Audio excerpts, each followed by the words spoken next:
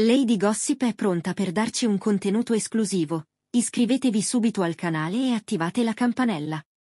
Le ultime indiscrezioni nel mondo dello spettacolo rivelano che Antonella Fiordelisi, fresca delle riprese di Pechino Express, avrebbe segretamente ristabilito un contatto con il suo ex fidanzato, Edoardo Donnamaria. La coppia, nata durante la settima edizione del Grande Fratello VIP, ha attraversato alti e bassi, diventando una delle più seguite e amate dai fan del programma. La storia tra Antonella ed Edoardo è stata caratterizzata da emozioni forti e momenti turbolenti, ma il loro legame ha sempre intrigato il pubblico. Prima dell'inizio delle riprese di Pechino Express, durante una puntata di Suite Selassie, Edoardo aveva sorprendentemente ammesso di aver scritto un messaggio di auguri per la sua ex compagna. Un gesto che ha fatto sognare i fan di una possibile riconciliazione.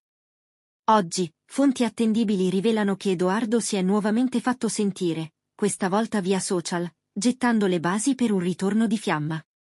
Su Twitter, numerosi fan hanno iniziato a sperare in una nuova pagina d'amore per i Donnalisi. Tuttavia, al momento, non ci sono elementi concreti che confermino ufficialmente la riaccensione della loro relazione.